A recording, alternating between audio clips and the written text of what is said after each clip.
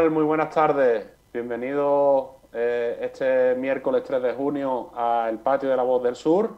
Eh, un programa que quiere plantear debate, eh, entrevistas y hoy tenemos al, portavoz de Adelante Jerez, a Raúl Ruiz Verdejo, al que le damos las buenas tardes. ¿Qué tal, Raúl? Buenas tardes, ¿qué tal, Pablo? ¿Qué tal? Pues encantado de, tenerte aquí en esta tarde. Vamos a tener tiempo de, hacer un poquito de repaso a la, a la actualidad de Jerez y a varios puntos que queremos tratar, ¿vale? Sin ningún problema. Estoy encantado de, estar aquí contigo. La lástima es que no podamos hacer esta entrevista en, en persona, ¿no? Que un poco las distancias y las tecnologías lo desnaturalizan un poco, pero, pero bien, muy contento de estar aquí contigo. Adaptándonos ¿no? a la nueva realidad, que además es precisamente lo primero que te quería preguntar, que qué tal llevas esta, esta nueva normalidad o esta irrealidad que estamos viviendo.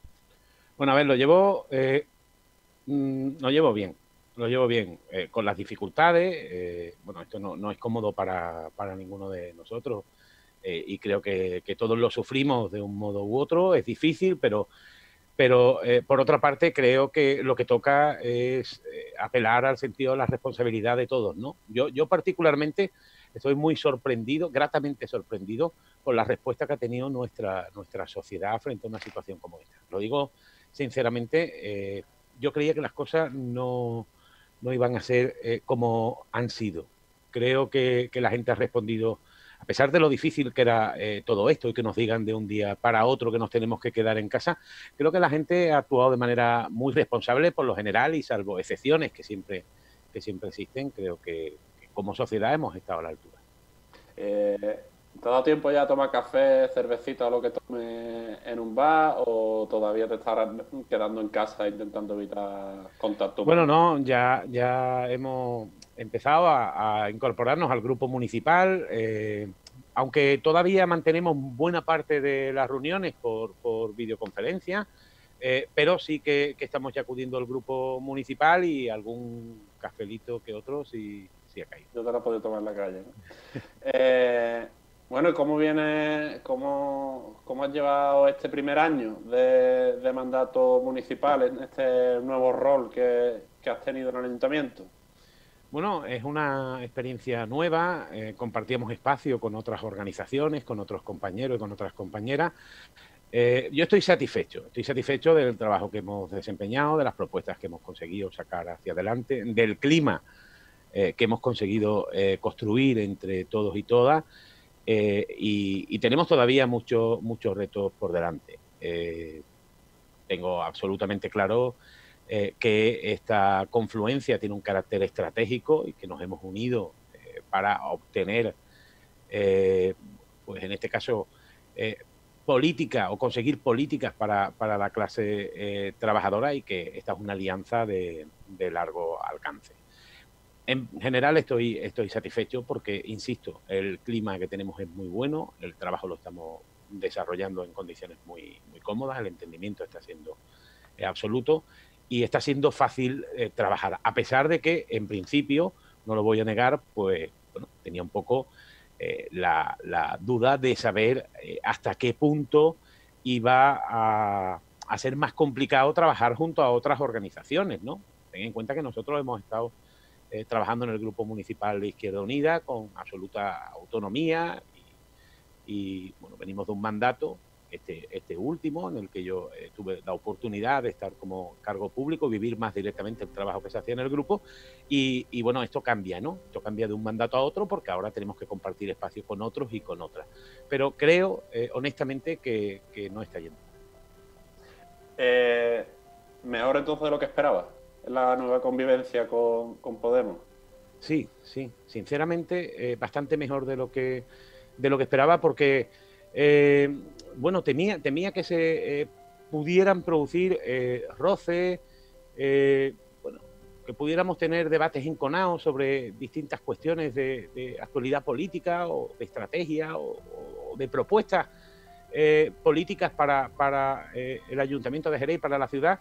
Y creo, sinceramente, que, hemos encontrado, ya digo, un, punto en el que somos capaces de, de debatir somos capaces de alcanzar consenso y la inmensa mayoría de, la propuesta, por no decir toda, las, estamos, las estamos sacando adelante después de, debate en todas ellas, pero siempre es por consenso de todo.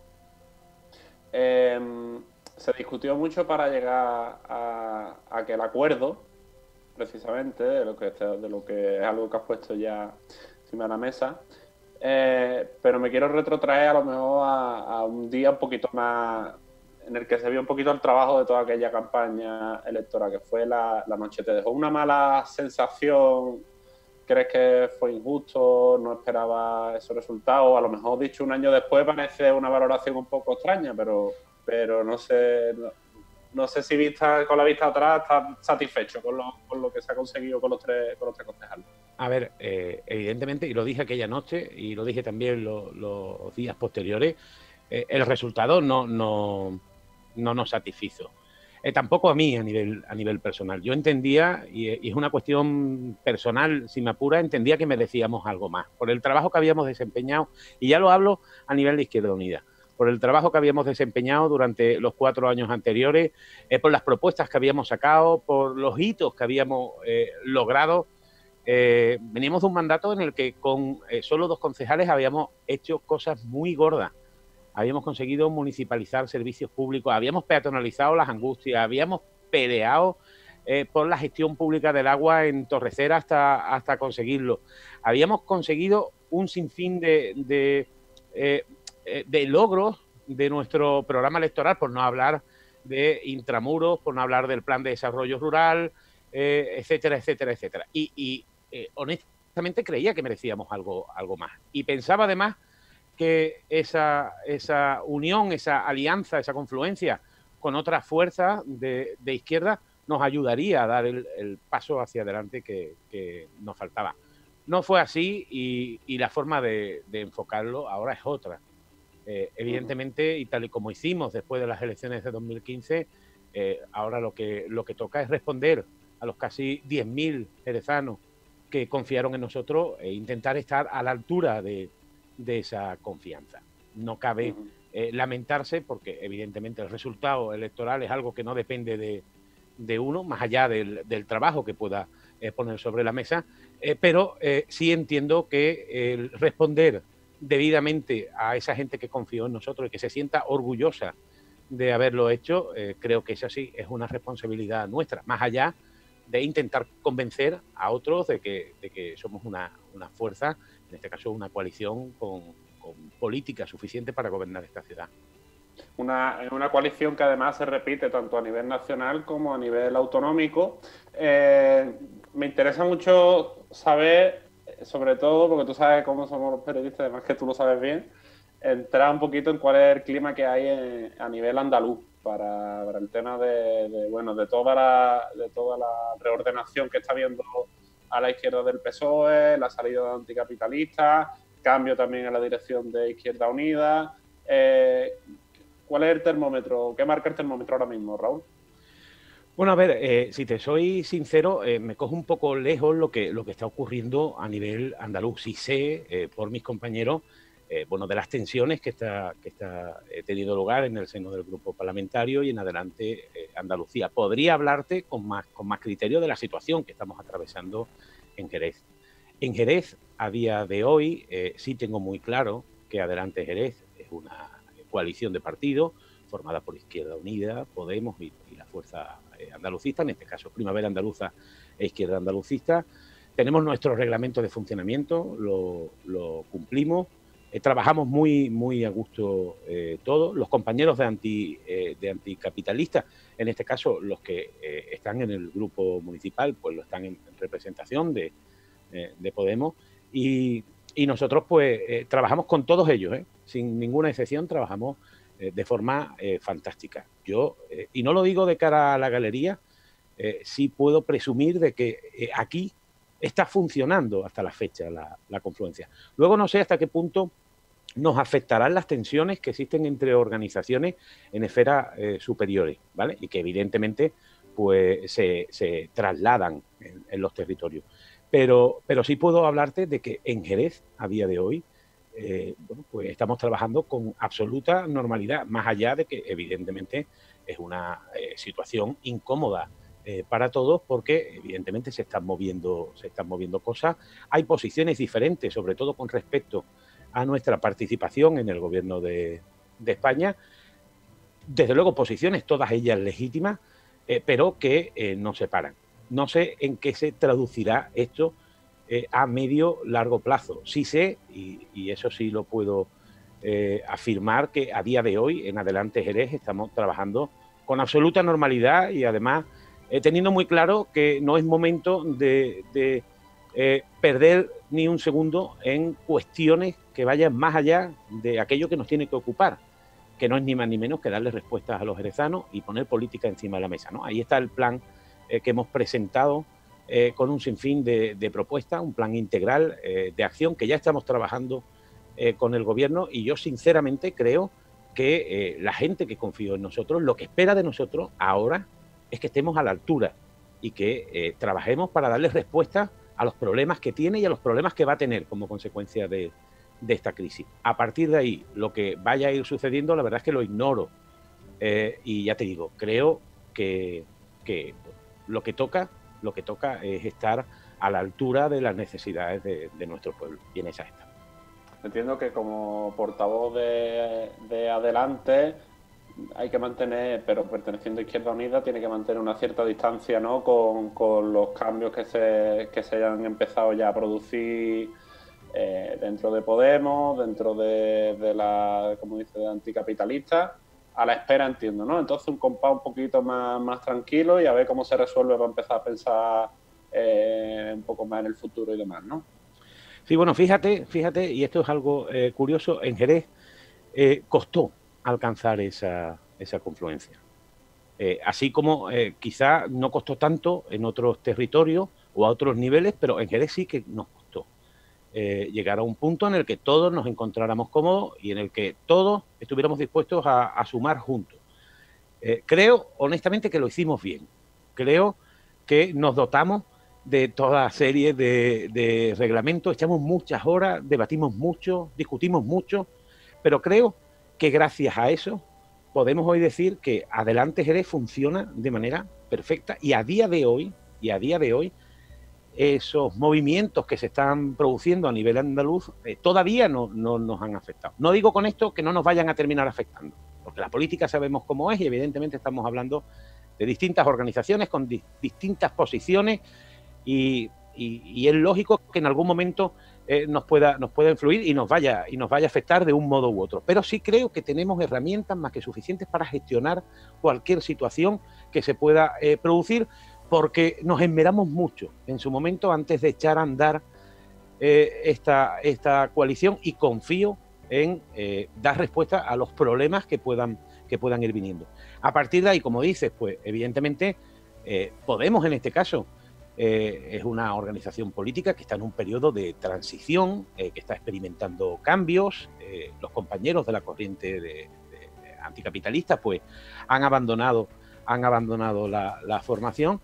Y a mí, no solo como portavoz de Adelante Jerez, sino también como, como miembro del Partido Comunista y de, Izquierda Unida, pues lo que me toca en primer lugar es respetar los procesos internos del resto de organizaciones. Y a ello, en ello estoy a partir de ahí, pues intentar aportar en la medida de mis humildes posibilidades y la de mi organización política para que sumemos. Insisto en que creo que este no es el momento de divisiones ni de tensiones. Creo que este es el momento de eh, agarrarnos todos fuerte y, trabajar porque nuestra gente, la gente de izquierda, la gente que confía en nosotros, no nos perdonaría que estuviéramos en otra que no sea en darle respuesta a sus problemas. Creo que esa tiene que ser la única eh, preocupación no solo de un militante de un cargo público de, Izquierda Unida o de Adelante Jerez o de Podemos o de, o anticapitalistas. Creo que debiera ser la única preocupación de cualquier eh, persona que se dedique a la política desde la izquierda.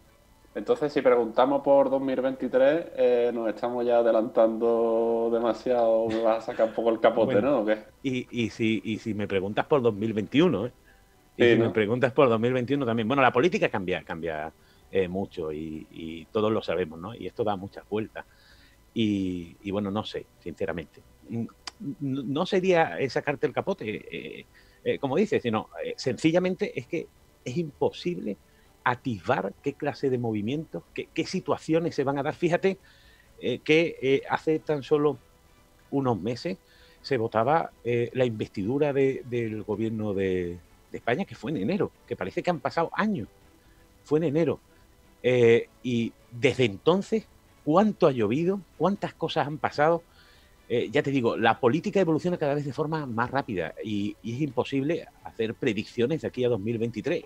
Es más, creo que es imposible hacer predicciones de aquí a 2021 tal y como está el panorama. Pero Entonces, yo creo que... ¿Qué panorama más, duro sería si, por ejemplo, nos ponemos un poco en lo peor y para 2019 para la izquierda fue ponerse un poco en lo peor, que hubo dos papeletas de un mismo movimiento y ahora mismo a mí me salen hasta cuatro papeletas diferentes es un poco, es, por eso un poco por lo que quizás hay que pensar si el termómetro va marcando que podemos ir incluso a esas cuatro opciones diferentes que lo que hace en principio, por lo menos a nivel matemática, es restar. A ver, yo no, yo no veo, eh, yo, yo soy, eh, para hacer predicciones soy, soy horrible, pero yo no veo unas elecciones en 2023, unas municipales en 2023 con cuatro papeletas. Sería un esperpento. Yo, no lo veo ganemos, Podemos, adelante, Izquierda Unida, cada uno con su, con su propia, con su propia identidad. Bueno, por si alguien no yo, lo no, quiero, yo no quiero, yo no quiero situarme en ese, en ese escenario.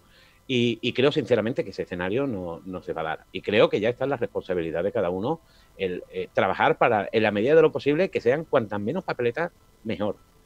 Eh, ojo, que respeto, que respeto que existan distintas posiciones y distintas formas de ver las cosas.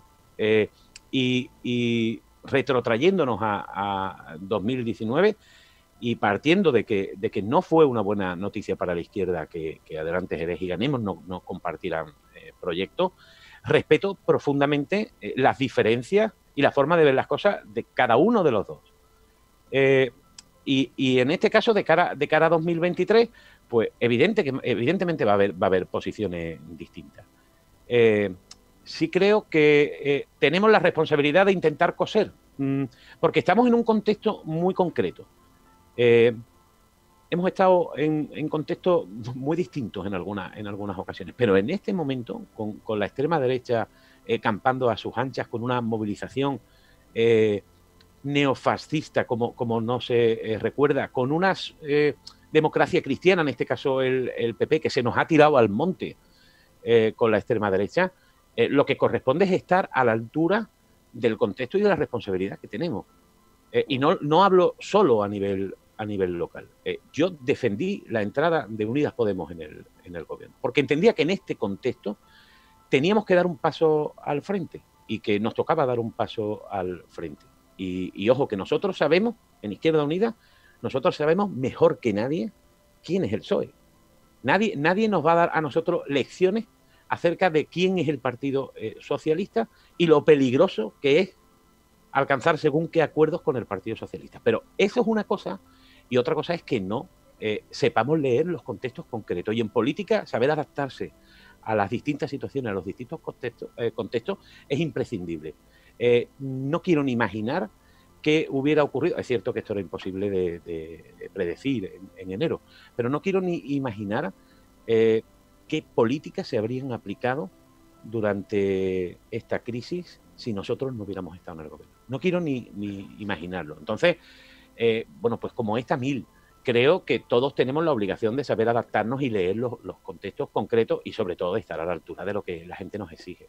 Y si, si, si quieres de forma breve, en 30 segundos, un minuto, de forma resumida, porque tenemos varios temas que no queremos dejar ahí en el tintero, eh, ¿Qué dos tres medidas habría hecho diferente en el Ayuntamiento de Raúl Ruiz Verdejo si estuviera eh, o como alcalde o, como, o con algún cargo, algún tipo de responsabilidad de, gobierno? Bueno, para empezar... Sanitaria sobre todo, es lo que me, a lo que me refiero. A ver, yo creo, yo creo que lo que necesitamos es actuar de forma, de forma rápida. Las medidas que, yo hubiera puesto en marcha son las medidas que intento poner en marcha junto a mis compañeros y compañeras de Adelante Jerez, que son las que están en ese, en ese plan y que van desde eh, volcarnos para recuperar eh, los sectores palanca de nuestra economía, que a día de hoy son eh, básicamente la cultura, el turismo y, la agricultura. Y, por otra parte, pues empezar a aplicar medidas para, por un lado, proteger a nuestro pueblo y a la gente que lo está pasando, que lo está pasando mal y que lo va a pasar muy mal eh, como eh, consecuencia de, esta crisis, a los pequeños comerciantes, etcétera, y empezar a aplicar políticas para cambiar el modelo productivo. Nosotros llevamos muchos años clamando en el desierto, eh, pidiendo que se creen canales cortos de comercialización, que empecemos a, reactivar el, parque tecnológico para fomentar una industria vinculada al sector agroalimentario que nos ofrece eh, múltiples oportunidades. Eh, todo eso lo esbozamos en el, plan. Eh, pero es que ese era nuestro programa electoral, el programa electoral con el que concurrimos, y es el compromiso que tenemos con todos los jerezanos y con todas las jerezanas. Nosotros vamos a seguir y vamos a seguir empujando. Hemos tenido ya varios encuentros con, con el gobierno. sinceramente, la predisposición que hemos encontrado ha sido muy positiva comparten que eh, son políticas necesarias para, esta ciudad y están dispuestos, o al menos así nos lo transmiten, a trabajar para ponerlas en marcha. Ya hemos creado grupos de trabajo eh, bilaterales para avanzar para que todas estas medidas, todas ellas, se puedan, se puedan ejecutar. Hablamos de un programa muy ambicioso que hemos presentado, el plan que hemos presentado eh, para hacer frente a, esta crisis. Y vamos a empezar a, dar pasos. Yo confío en que la predisposición mostrada por el gobierno y estos primeros pasos que hemos empezado a dar se empiecen a traducir muy pronto en medidas concretas, aplicadas y que empiecen a, a dar respuesta a los problemas que tiene los jerezanos y, sobre todo a construir un futuro, un futuro diferente, un futuro próspero y de oportunidades para nuestra ciudad. El ingreso mínimo vital va a ser lo que marca la diferencia respecto a lo que se ha hecho, por ejemplo, en el Kiko Narváez, etcétera. Es decir, es donde el que de verdad está yendo a por lo menos a solventar la situación a corto plazo de la ciudadanía. A ver, yo creo que el ingreso mínimo vital era, era una obligación y era una cuestión impostergable por parte del gobierno para atajar la situación de, pobreza y desigualdad que tenemos en este, en este país. No hay debate, no hay debate, más allá de, eh, los discursos perversos que eh, intentan construir algunos, pero realmente no hay debate y cualquiera que sepa eh, que, esté, que esté en la calle sabe, sabe que es absolutamente imprescindible aplicar una, medida de este tipo. A partir de ahí, nosotros creemos que desde, desde el Ayuntamiento de Jerez tenemos que sacar algunas conclusiones de, todo esto que, que nos ha pasado. Eh, a ver, en primer lugar, eh, venimos diciendo desde hace mucho tiempo que eh, tenemos un, modelo productivo que depende demasiado del, turismo y, que, bueno, pues no nos permite avanzar, diversificar la economía, crear más empleo de, calidad y que eso lo tenemos que, corregir.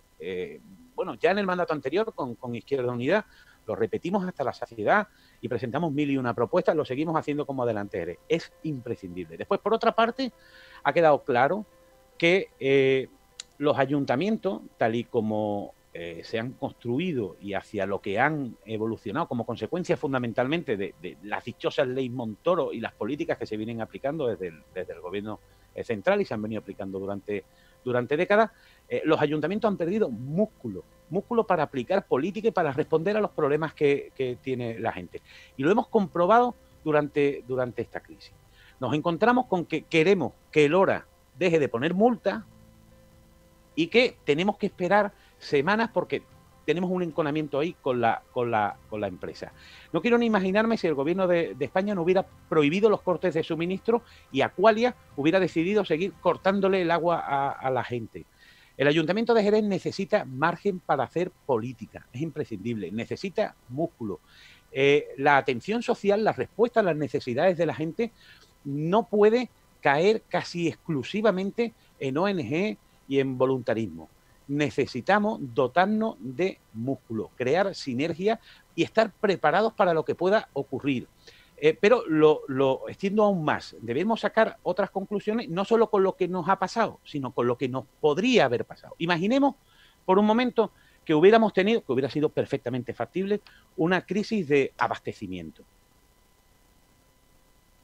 Este ayuntamiento hubiera tenido severos problemas para responder a, las necesidades de, nuestra gente. Eh, por eso creemos que es imprescindible crear canales cortos de comercialización, eh, poder, poder llevar, poder adaptar la producción local, la producción local a la demanda, a la demanda de, nuestra ciudad. Nosotros no podemos estar produciendo para que las cosas se metan en un camión y se manufacturen en Barcelona y se manden para Alemania. Eh, si nosotros tenemos aquí productos eh, que podemos manufacturar, podemos sacarle el valor añadido, podemos crear empleo eh, y además de paso también podemos avanzar hacia un concepto, fíjate, que lo hemos repetido tantas veces y que está perfectamente vigente y más en un contexto como este, el concepto de soberanía alimentaria. Tenemos que dar paso para corregir todo eso. Lo planteamos en el programa, lo planteamos en el, en el plan que estamos trabajando con, el gobierno, con el mercado de kilómetro cero, eh, con canales cortos, con centrales de compra, etcétera, etcétera, etcétera. Se trata de, mm, vamos a replantearnos como, como eh, ciudad, pero, pero debemos ser ambiciosos. Después eh, planteamos también una cuestión que es imprescindible. Tenemos que revisar qué estamos haciendo con nuestro servicio municipal de protección civil. Necesitamos protocolos para que cuando nos pase, ojalá que nunca más, pero cuando nos pase eh, algo que se salga de, lo rutinario, de lo, habitual, este ayuntamiento tenga músculo y tenga engranajes perfectamente eh, engrasados para dar respuesta a los problemas de, la gente. Nosotros no podemos como ayuntamiento depender del voluntarismo, ni depender de ONG. Necesitamos tener activos todos los protocolos necesarios para dar respuesta de forma ágil a cada problema que pueda surgir en esta ciudad y que pueda afectar a nuestra gente. Eso es imprescindible. ahora un momento en el que quizás más se echaría de menos no tener una deuda de mil millones. Quizás ahora de toda la historia en la que hemos tenido una deuda tan grande, quizás es ahora cuando, ahora que los ayuntamientos están planteando, oiga, es que el superávit lo queremos dedicar, o sea que el ayuntamiento también en teoría podría hacer, pero tiene mucho menos margen que otros muchos ayuntamientos Evidentemente. capacidad. Evidentemente, pero fíjate que, el problema no lo sitúo en la, deuda. Yo creo que se puede hacer política, aún a pesar de, la deuda. Eh, que se necesita liderazgo político y se necesita convencimiento y, desde luego, eh, dar paso. Dar paso. Eh, sí creo que es imprescindible, y así lo hemos manifestado, y así se lo hemos manifestado nuestros compañeros en el Gobierno de España, es imprescindible derogar la ley Montoro pero no solo por lo que supone de atenazar a las administraciones públicas, a los ayuntamientos, además, que son los que eh, trabajan de manera más cercana con los problemas de los ciudadanos eh, desde una perspectiva económica, no solo por lo que nos atenaza económica o financieramente, sino también por las competencias que nos restan.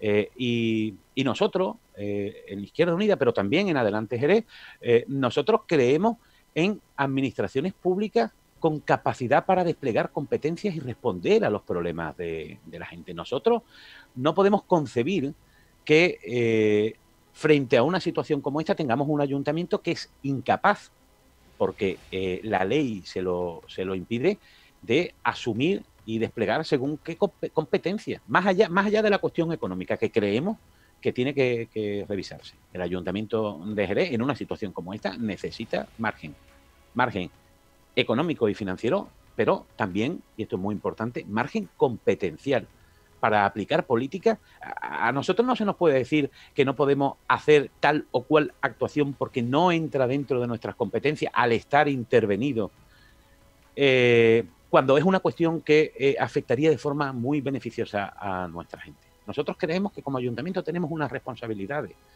y creemos que las tenemos que, que desplegar. Y desde luego no concebimos eh, e-, esos ayuntamientos que concibe la derecha, que son oficinitas para gestionar mm, determinados impuestos eh, con servicios públicos que todos ellos están externalizados. No, no, nosotros... Y, los 700.000 700 euros que ha mandado, digamos, mandado una expresión un poco, cuando hablamos de impuestos, un poco engañosa, ¿no? Pero en este caso se podría hablar así, de una transferencia de 700.000 euros al Ayuntamiento de Jerez, se queda bastante corto.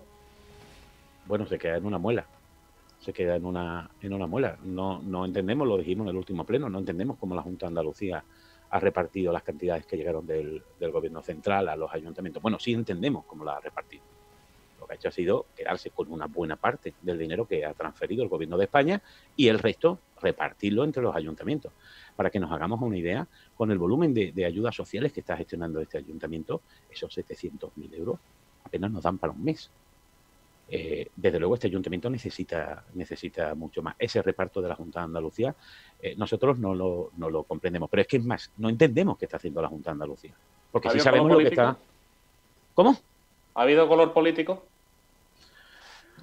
Yo, eh, En este caso, fíjate, eh, y soy muy crítico con la Junta de Andalucía, yo creo que en este caso lo que ha habido ha, sido una clara intención de eh, gestionar de manera directa por parte de la Administración Autonómica buena parte de, esos fondos y dejar las migajas para repartirlas entre los ayuntamientos, los suyos y los que no son suyos.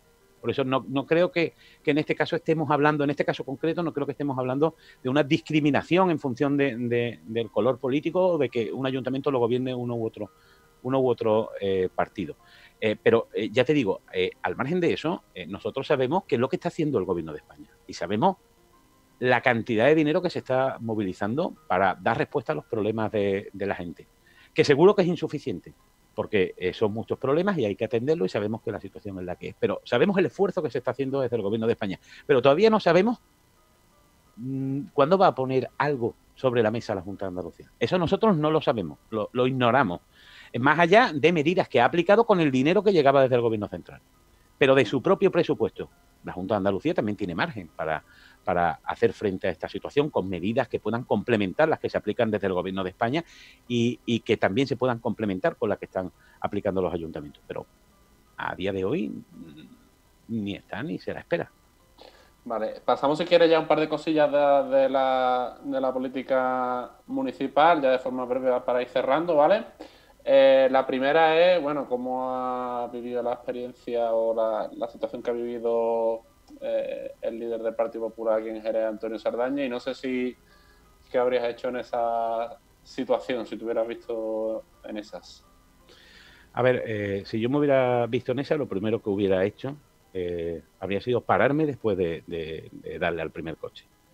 Eso es lo primero que hubiera hecho. No hubiera esperado a, chocar con tres o cuatro, ¿no? Creo que, que fue que chocó. En segundo lugar, dimitir. Pero por una cuestión de responsabilidad y de ética personal. No, no, no, no esperaría ni tan siquiera que me lo pidiera mi partido. Creo, creo que es lo que eh, corresponde. No solo porque haya dado positivo, ¿eh? ¿eh? no solo por eso, porque ha dado positivo eh, y se ha estrellado con tres coches. Y si se ha estrellado con tres, es porque se ha quitado en medio después de estrellarse con los dos primeros. ¿Vale? Eso por un lado. Después, por lo demás, mm, yo no soy, yo no soy quien para, para juzgar a nadie. Tú me has preguntado qué es lo que eh, yo creo que hubiera, que hubiera hecho. Yo creo que hubiera actuado así. Quiero creer que habría actuado así. De lo contrario, me estaría decepcionando a mí mismo. Eh, pero no soy quien para juzgar ni a Antonio Saldaña ni, ni a nadie. Eh, sí creo, sí creo que, que esa decisión la, la, debía haber tomado él ya a partir de ahí todo lo que ha ocurrido me resulta un poco extraño, pero bueno, tampoco soy quien para valorar las decisiones que se toman en, en otros partidos, en este caso en el Partido Popular. Sí, sí puedo decir que me ha resultado extraño el que un día se, diga una cosa y dos días después se diga se diga otra. Pero más allá de eso, por una cuestión de, respeto a las decisiones de, de, otras organizaciones políticas, no, no voy a entrar más allá. Y, y por lo demás, por lo de Saldaña, bueno, pues partiendo de que no le deseo ningún mal, ni a él ni, ni, a nadie, a ninguno de, los compañeros que comparten corporación conmigo, pero sí creo que eh, lo que hubiera correspondido en una situación como esta habría sido dar un paso al, lado por una cuestión de, responsabilidad y ética personal, sin más, pero es una opinión personal, ya digo, no, no está en mi, interés, en mi intención eh, juzgar ni, ni a Antonio Saldaña ni, ni a nadie. Eh, y por último, la situación de, Esteve, estas obras que se paralizan, no se paralizan, la Junta dice una cosa, el Ayuntamiento dice otra, viene además de una, de una batalla en parte vecinal sobre Adoquín sí, Adoquín no, que lleva los últimos dos o tres años ahí en el debate. Eh, ¿Cuál es la solución de, la Plaza Esteve, de, de, puro corazón del centro de Jerez? A ver, nuestra, nuestra posición ahí ha estado muy clara en todo momento. Eh, ya como, como organizaciones por separado y después en este, en este mandato pues eh, como coalición. Eh, nosotros creemos que es una barbaridad lo que, está, lo que está haciendo el gobierno en la Plaza Estéreo. Se lo hemos manifestado al, al, gobierno y hemos intentado disuadirlo. Intentamos también en su momento que se planteara al menos una, una consulta popular. No, no fue posible. creemos que es una barbaridad y, y creemos que, que, le va a pasar factura al, al gobierno porque pensamos que eh, este delegado en concreto no puede, no puede actuar de, esta forma, opiando eh, a todo aquel que ose criticar eh, las decisiones que él adopta y, quedándose solo eh, con quienes le tocan las palmas o quienes están de acuerdo con lo que él está haciendo. Creemos que, ha pecado una vez más de prepotencia, ojo, no es la, no es la primera vez, eh, quienes más o menos seguimos, eh, siguen la, actualidad política, yo la sigo porque no me queda otra todos los días, sabemos, sabemos en este caso, pues, cuál es la forma de actuar del señor Díaz, del delegado. Y creo, sinceramente, que, que se equivoca, creo que es un delegado que Mm, más allá de esa prepotencia eh, y esa chulería que, algunas veces le pierde, creo que es un delegado muy trabajador y que también está, está haciendo en, determinadas cosas un, trabajo muy bueno, pero creo que le pierde el no saber pararse, escuchar e intentar apostar más por el, por el diálogo. La respuesta de la Junta de Andalucía, pues, a ver, a mí, a mí me gustaría, a mí me hubiera gustado que la Junta de Andalucía de verdad hubiera intervenido para defender nuestro patrimonio. Lo cierto es que no lo hace por eso y todos sabemos que no es así. Lo hace porque eh, quiere buscar una confrontación y quiere debilitar al gobierno del Ayuntamiento de Jerez, ni más ni menos. Y quien piense lo contrario está pecando de ingenuo, porque bueno, ahí tenemos el decretazo que ha aprobado la Junta de Andalucía, que pone en serio el peligro nuestro eh, patrimonio. Eh, evidentemente, la Junta de Andalucía, si de algo no puede presumir, es de defender el patrimonio. De eso seguro que no y en este caso no lo está haciendo por, eso. Y, por eso es una confrontación que es insana, es una confrontación que, es insana. Eh, yo sí quiero partir una lanza en favor de la gente que de verdad está movilizándose para, para intentar detenerlo, eh, porque, porque quiere y respeta nuestro patrimonio. Y en este sentido, pues la Asociación de Vecinos del Centro Histórico fundamentalmente creo que está haciendo un trabajo eh, fantástico y, comparto desde luego su negativa eh, a, que se proceda con esa, con esa actuación. Pero, insisto, eh, la decisión de, la Junta, que si bien puede venir o puede jugar en favor de, lo que nosotros pensamos, sí me entristece que, pues sea consecuencia más de una confrontación política que de verdaderamente un compromiso con nuestro patrimonio. Pues con esto, Raúl, vamos cerrando la entrevista. Si quieres, muy breve, muy conciso, eh, para ponerle nota a las tres administraciones de, eh, más concernientes para el tema de la, de la crisis sanitaria, incluso de la labor que han realizado desde que empezamos sus respectivos gobiernos y con eso cerramos, ¿vale? Empezamos por el gobierno de España, ¿qué nota le pones? ¿En 1 al 10? Bueno, yo, yo, voy a, yo voy a hacer un comentario muy breve, ¿vale? Más que poner nota. Yo creo que el gobierno de España mm, creo que tendría una, un notable porque creo que, se está esforzando, que está haciendo frente a una situación muy difícil y además lo está haciendo eh, con, medidas políticas de, de calado y respuestas audaces en muchos casos. Le pondría un notable. ¿La Junta? A la Junta le daría un insuficiente, un insuficiente. Creo, eh, sinceramente, que se puede hacer mucho más. Creo que no habla bien de, la gestión por parte de la Junta de Andalucía, que seamos la comunidad autónoma con mayor porcentaje de sanitario eh, infectado eh, por el virus creo que habla de la desprotección que han tenido eh, los trabajadores de nuestro sistema eh, sanitario y desde luego creo que le ha faltado implicación y que le sigue faltando implicación. La Junta de Andalucía, igual que el Gobierno de España está aplicando medidas una detrás de otra, la Junta de Andalucía tiene que arrimar el hombro y poner política encima de la mesa. ¿Ya los ayuntamientos, la política municipal? A los ayuntamientos en, a los ayuntamientos en general les doy un, notable eh, cercano al, sobresaliente, porque con todas las dificultades, con todas las limitaciones, con, eh, la falta de recursos, de personal, eh, sabiendo cómo, están, y, ahí incluyo también al, al ayuntamiento de Jerez, creo que lo han dado todo, han puesto el corazón y han intentado ayudar hasta extremos insospechados. Creo sinceramente que de todas las administraciones en esta crisis ha quedado de manifiesto que los ayuntamientos son, son una de ellas y desde luego una de las imprescindibles. Perfecto. Muy bien, Raúl, pues muchísimas gracias por, por, estar con nosotros aquí esta tarde en el patio de, La Voz del Sur. Esperemos que la siguiente sea sin crisis sanitaria porque será buen síntoma de que las cosas han ido mejor y que, y que sea por allí, por los pasillos del ayuntamiento, por donde tenga que ser. Esperemos que, así sea. Para mí es un placer siempre eh, compartir un rato con, vosotros.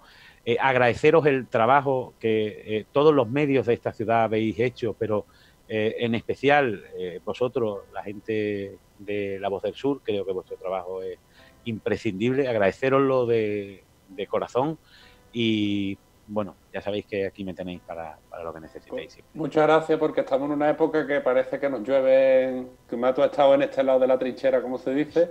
Corren malos tiempos para, para, malos tiempos para, para, la prensa. Sí, pero, pero, yo soy de los que piensan que, el periodismo es imprescindible y más en tiempos como estos. Fíjate la que hemos tenido con los bulos, eh, la desinformación que, que, existe. Creo que hay que reivindicar ahora más que nunca eh, el periodismo y especialmente el periodismo independiente. Eh, y por eso yo eh, humildemente y como ciudadanos agradezco el esfuerzo que, todos nosotros. Te, lo agradecemos. ¿Echa de menos, habría hecho el micrófono más que, más que la política en estos días?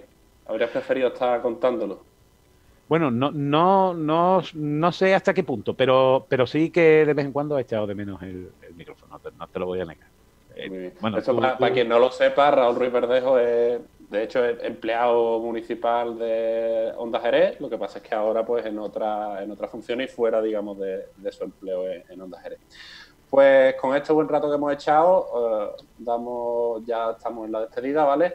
Eh, volveremos mañana, salvo que, que se acabe el mundo alguna situación así. bueno, no, no digamos alto, no digamos alto. No hay que decirlo muy alto, por desgracia.